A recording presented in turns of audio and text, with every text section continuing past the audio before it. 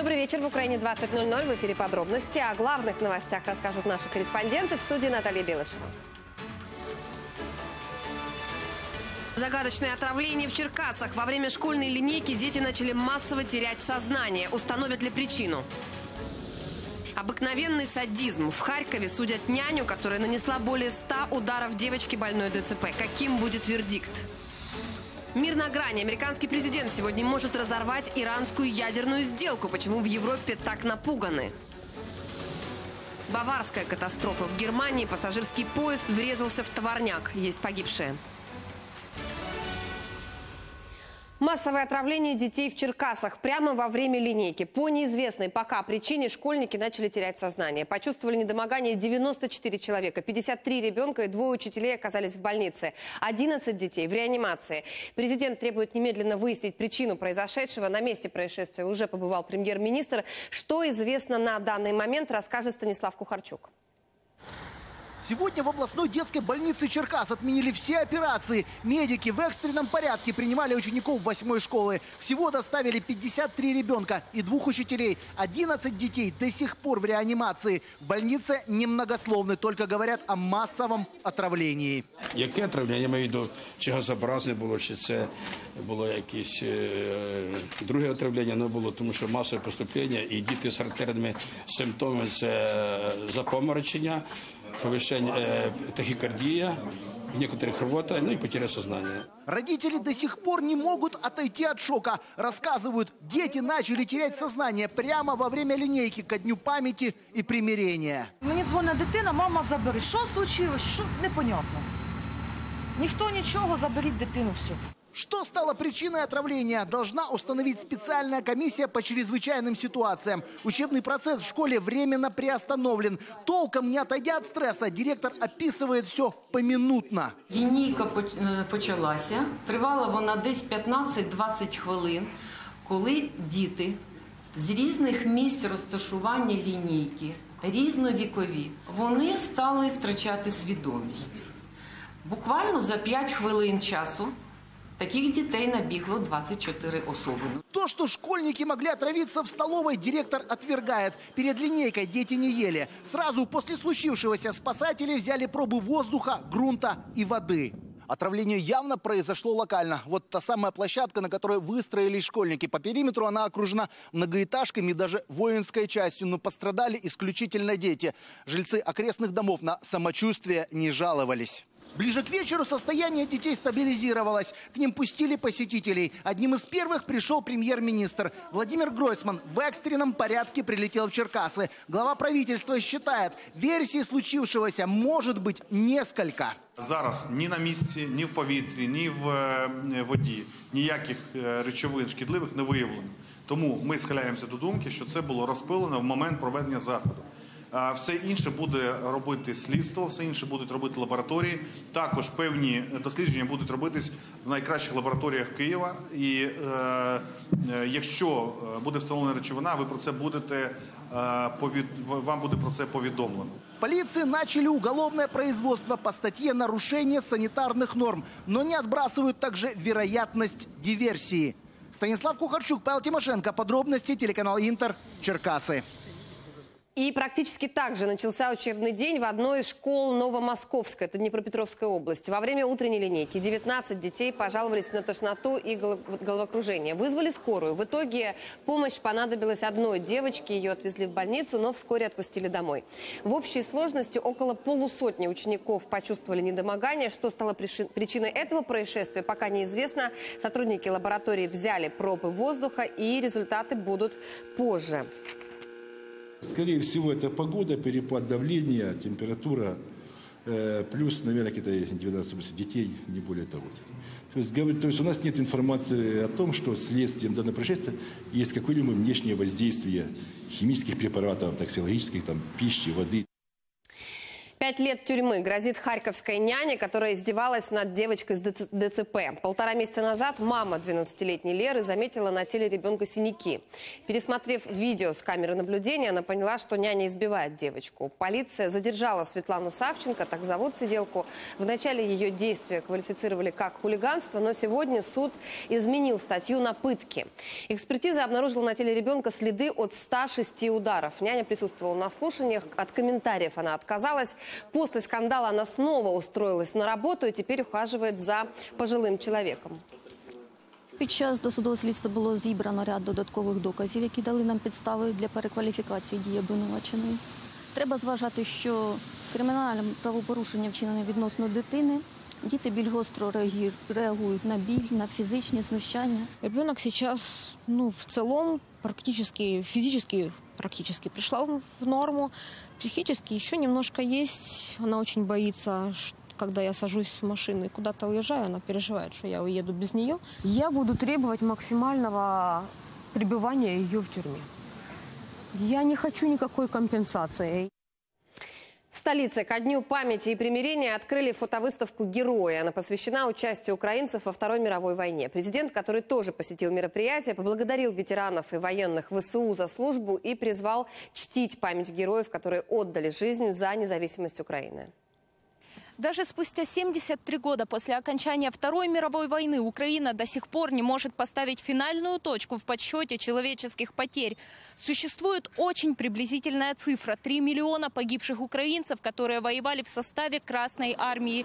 Во время Второй мировой украинцы боролись с нацизмом в армиях семи стран. Об этом заявил президент Украины во время открытия выставки «Герои». Нынешнее поколение должно помнить и чтить всех, кто защищал страну от захватчиков.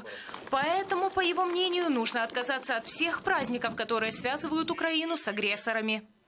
В нашому військовому календарі не має бути нічого спільного з країною агресором. Ще в 2014 році я поклав край давній і дивній традиції святкувати головне військове свято в унісон з країною агресором. Саме тоді я скасував День защитника Отечества і запровадив День захисників України, призначивши його на 14 жовтня. Армію нарешті остаточно очистять від усіх небезпечних рудиментів радянсько-російської ідеології. Ці рудименти негативно впливали на бойовий дух українського війська. По словам президента, сейчас Россия пытается дестабилизировать Украину, поэтому необходимо создать сильную армию и восстановить систему международной безопасности. Разом з нашими партнерами ми прагнемо збудувати нову систему міжнародної безпеки, що була зруйнована агресивними діями країни-агресора Російської Федерації. І для цього необхідно створити надійний захист нашого суверенітету, нашої територіальної цілісності, нашої незалежності в єдиній євроатлантичній спільноті колективної безпеки. Но это невозможно сделать в условиях, когда едва ли не ежедневно на Донбассе гибнут мирные жители. Поэтому глава государства в который раз акцентировал внимание на необходимости привлечения миротворцев. Ксения Барвиненко, Владимир Самченко. Подробности. Телеканал «Интер». На Донбассе снова обстреливают мирных жителей. Сегодня ночью боевики ударили из пушек по Лоскутовке в Луганской области. Обошлось без жертв, но несколько домов были разрушены полностью. Повреждены также линии электропередач, газа и водопровод. По позициям украинской армии противник за минувшие сутки открывал огонь 58 раз. Ранены двое наших бойцов. Все подробности расскажет Ирина Баглай. А Вони з бетона залиті, бойниці виходять на всі сторони, вони прострелюють дорогу в- вдоль по нашим сусідям і по нам сюди прилітають. Это отрезок трассы, ведущей в оккупированный Донецк. Насыпь боевики оборудовали под линию укреплений. Военные насчитали только на одном участке до десятка огневых точек. У них стоять крупнокаліберні пулемети там. Ну і в принципі їх ні артилерією не достать нічим оттуда. По ночам они вспыхивают, как гирлянды. Днем тихо, пользуясь этим, можно разглядеть и заброшенные ангары, где, очевидно, боевики прячут тяжелую технику. Там е, знаходяться два бункера, два дота. І от десь в районі тих дотів за ними. Вони її частенько заводять, вона прогрівається, проте не показують. Скоріше за все, що танк, можливо, два. Гранатометы и минометы, их выстрелы военные зафиксировали и этой ночью. набагато інтенсивніше почали працювати з крупного калібру, там СПГ, там 82-й міномети. Беспилотник в небе. Уже проверенный вестник. Нужно готовиться к артобстрелу. Він зависає і просто починає летіти. СПГ, все ж міномети. За спинами десантников когда-то цветущий дачный поселок. Из-за постоянных обстрелов в этих руинах уже сложно разобраться, где старые, а где свежие попадания пуль и гранат. Цієї ночі вони вилазили на рейси самі, там питалися нас пробити, простріляти. Тобто, видно, мішки носі простріляні, железяки всі сверкали. Десантники не советуют задерживаться возле бойниц. На каждое движение российские наемники реагируют выстрелами. Часто в бійниці е, ведеться прицільний вогонь із стрілкової зброї різного калібру. Це може день? ну, в будь-яку пору доби. Вопреки обстрелам, крылатые пехотинцы не стоят на месте. Сине-желтым флагом, поднятым прямо под носом у врага, напоминают, на чью они землю пошли войной. Ми ж не просто так тут стоїмо. От, Наступні позиції будуть десь під прапором. Потім далі його перенесемо. Потім перенесемо позиції. Ирина Баглай, Даниэль Косаковский, Игорь Щепет из Донецкой области. Подробности телеканал «Интер». Доля Украины. В Конгрессе США обнародован проект оборонного бюджета страны на 2019 год, и в нем предусмотрена помощь Киеву. Сколько выделили, разбирался Дмитрий Анопченко.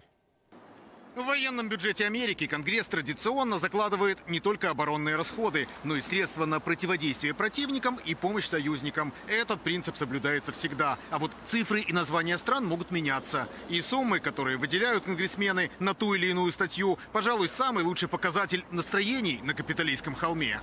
Именно поэтому все так ждали цифры, которые опубликует профильный комитет Палаты представителей. И вот он, этот документ. В нем предусматривается, что в 2019-м Украина получит от Соединенных Штатов на обеспечение безопасности и разведки четверть миллиарда долларов.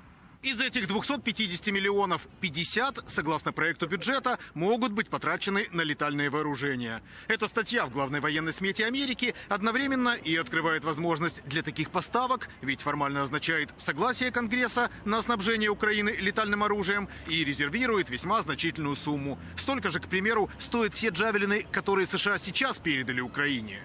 Ну а чтобы ответить на вопрос, больше или меньше американской помощи в следующем году получит Украина, достаточно просто сравнить сухие цифры. В этом году американская помощь Киеву порядка 620 миллионов долларов, из них порядка 200 миллионов – это помощь военно-техническая. Ну а в следующем году, вот в этом проекте бюджета, уже 250 миллионов долларов на военную помощь заложено. Так что цифры говорят сами за себя.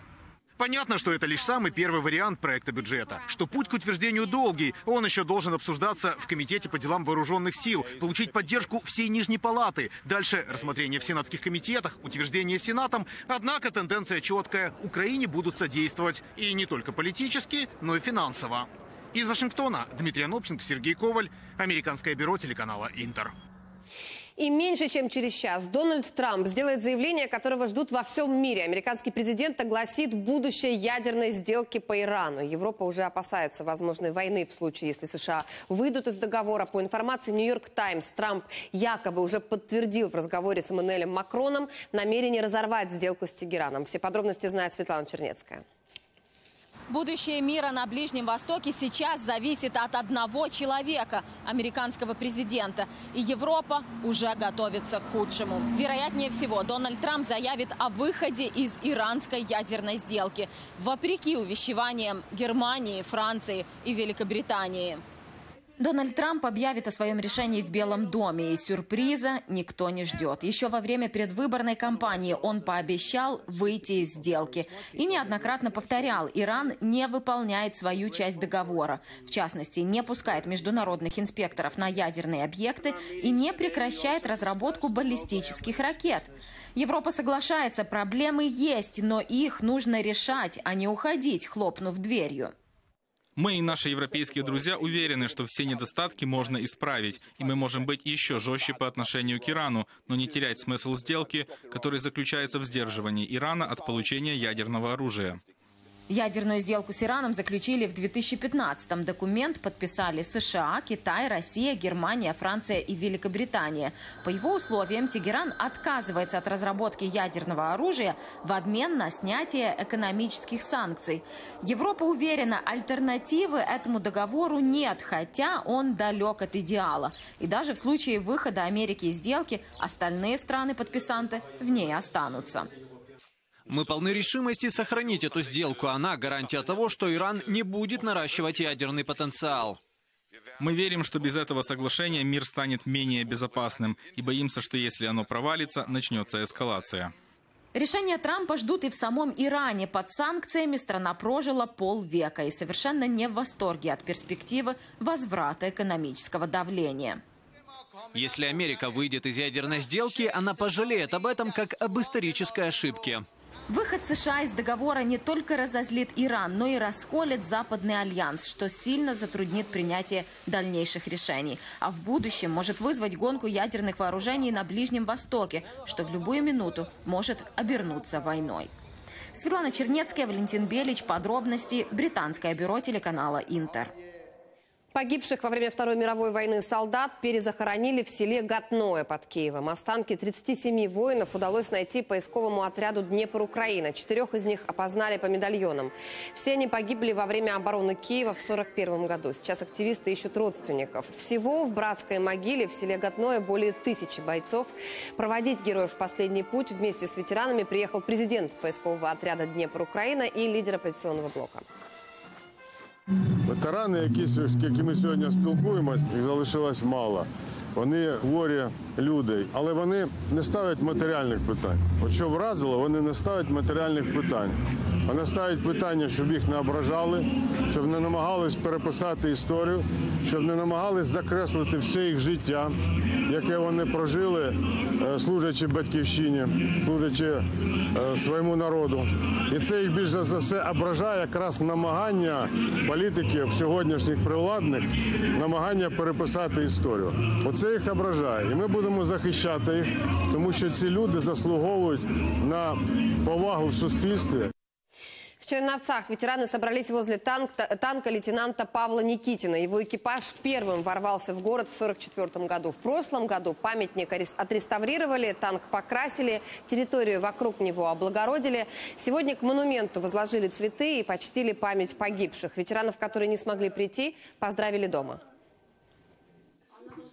Я всегда этот праздник встречал с волнением, беспокойством, жалостью. Я сторонник того, чтобы этот день не был забыт. Такое количество миллионов жертв нельзя забывать человечеству. Сьогодні ніхто інший, як ті люди, які пройшли війну, які е, знають, завдяки яким втратам отримана була перемога. Саме вони сьогодні і е, є найбільше, найбільшими прихильниками миру з тим, щоб в Україні було встановлено мир, щоб припинилася у нас війна, бойові дії. Накануне 73-й годовщины победы над нацизмом организация «Женщины за мир» посетила прифронтовую зону. Активисты встретились с ветеранами, которые живут на Донбассе, чтобы поздравить их с праздником. Бывшим фронтовикам привезли подарки, продовольственные наборы и медикаменты. Для каждого из нас сегодня большое испытание. Не сдаться, не сломаться, не предать подвиг наших дедов и отцов передать ту честную и правильную историю народа-победителя.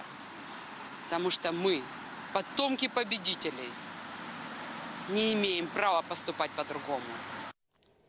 В Харькове День памяти и примирения традиционно почтили минутой молчания. Утром у мемориала славы в лесопарке возложили цветы к братской могиле и стелле Родины Матери. В часовне прошел молебен. Завтра фронтовиков и всех желающих приглашают на высоту маршала Конева, где в 43 году в августе месяце располагались наблюдательные пункты и командующий войсками Степного фронта отдал приказ о штурме Харькова. Ми вшановуємо мужність і відданість всіх тих, хто здобував перемогу у Другій світовій війні. Цього дня ми повинні відки- відкинути усі політичні або ідеологічні моменти, які роз'єднують наше суспільство. Адже головною метою тих часів було визволити свою рідну землю від ворога. І тільки об'єднавшись, ми досягли перемоги. Тому е, будуємо майбутнє разом і об'єднуємося заради нашого майбутнього. Ветеранов поздравили и в Черкасской области. Жители Смелы почтили память погибших героев минутой молчания и встретились с теми ветеранами, которые, несмотря на свой возраст, все же пришли на мероприятие.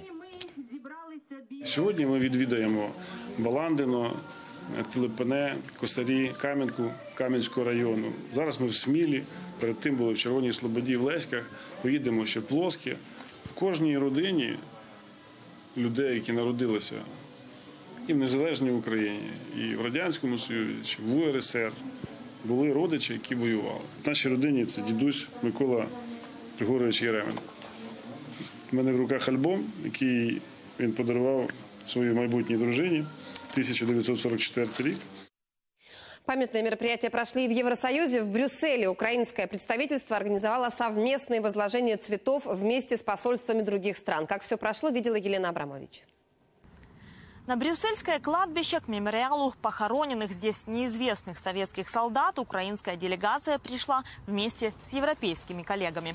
Последние несколько лет наши дипломаты не посещают общие с Россией мероприятия такого рода. Организовывают свои возложения цветов. Наші колеги з Польщі, Угорщини і Словаччини відмовили зробити покладання спільне е, разом тут, на кладовищі у, е, у Брюсселі. Е, Перше до е, могили невідомого солдата і друге до е, могили е, руху опору Бельгії. Памятные мероприятия прошли в Германии. Там 8 мая отмечают День освобождения от нацизма. Для украинцев приносить цветы к мемориалу павшим советским воинам именно 8, а не 9 мая – традиция новая, но она уже прижилась. Це четвертий рік поспіль е, ми робимо, і мені здається, що е, багатьох наших гостей вже не потрібно запрошувати. Тобто всі знають, 8 травня, 13.00 е, ми збираємося тут спільною молитвою в скорботі, але разом з думками з нашими загиблими. І я вважаю, що з часом справді і широкий німецький загал він, почне відчувати і розуміти ту величезну роль, яку український народ, яку Україна внесла в вклад цей велику перемогу.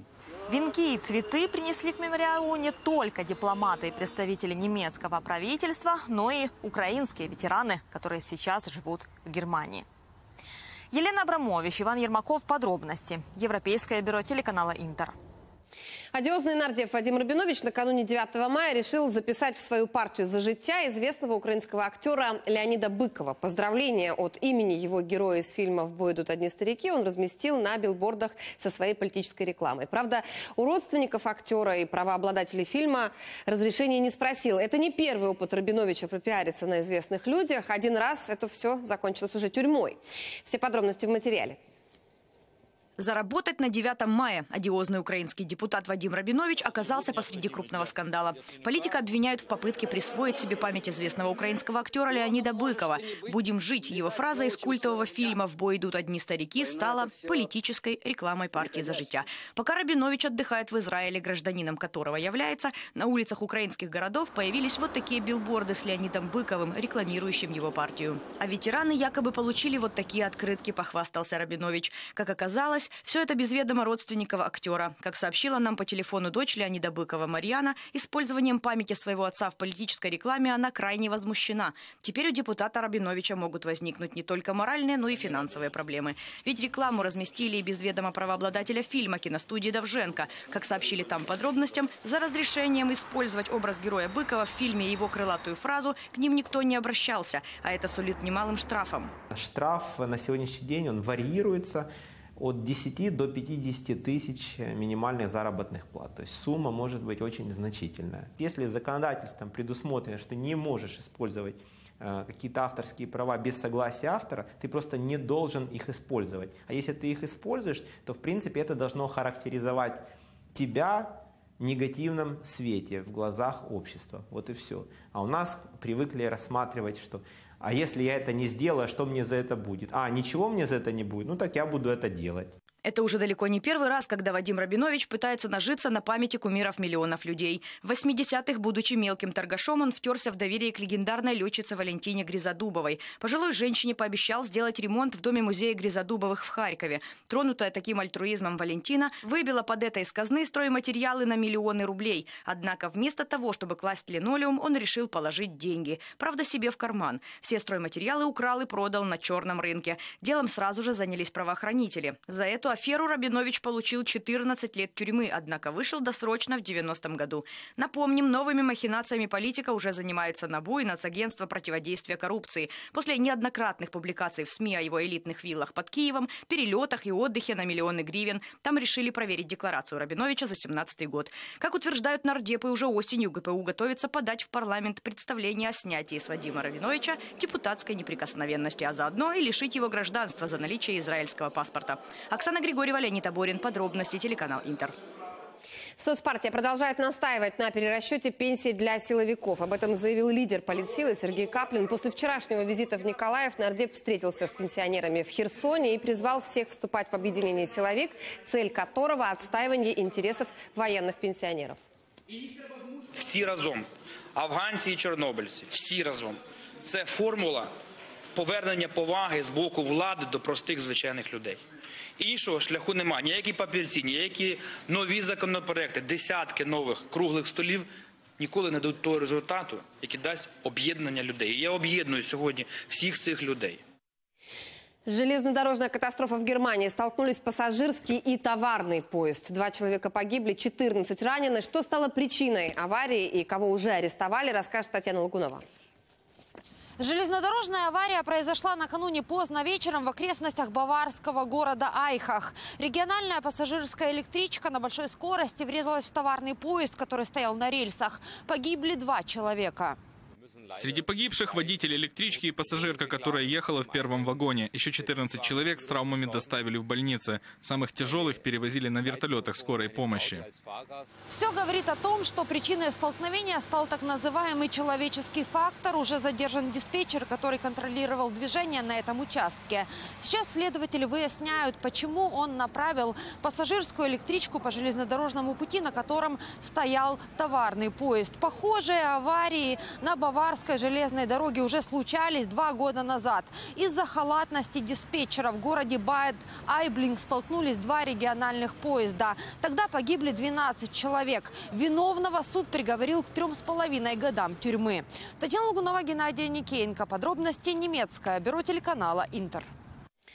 Во Франции стартовал 71-й Каннский кинофестиваль. В этом году жюри возглавляет австралийская актриса Кейт Бланшет. За золотую пальмовую ветвь э, соревнуются более 20 картин.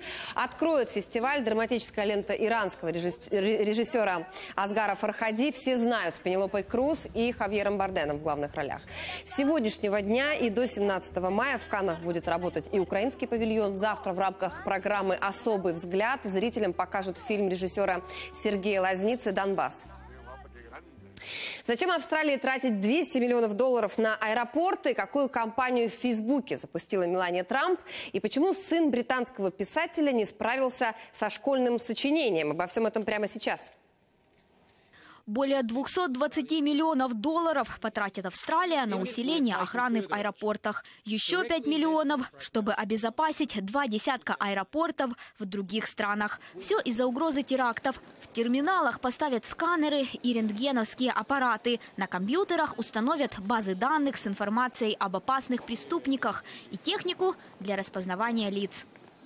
Китайского чиновника приговорили к пожизненному заключению за коррупцию. Глава коммунистической партии города Чунцин Сунь Джен Цай сумел набрать взяток на 170 миллионов юаней. Это примерно 27 миллионов долларов. Политик признал свою вину. После разоблачения его отстранили от должности, а сейчас еще и лишили политических прав и конфисковали имущество. «Будь лучшим» – так называется кампания помощи детям от Мелании Трамп. Она направлена на использование соцсетей с пользой и на борьбу с детской наркоманией. А вот журналисты задались вопросом, последует ли советам Мелании, ее муж. Главу Белого дома не раз критиковали за агрессивное поведение в Твиттере. Тройка с плюсом за сочинение по роману собственного отца. Британский писатель Иэн Макьюэн помог сыну написать эссе по своему роману «Невыносимая любовь», но учитель не согласился с изложенными в сочинении утверждениями. Макьюэн назвал сына беднягой, потому что тому пришлось читать отцовский роман. Иэн Макьюэн – лауреат Букеровской премии, а фильм «Искупление», снятый по одноименному роману писателя, номинировали на «Оскар».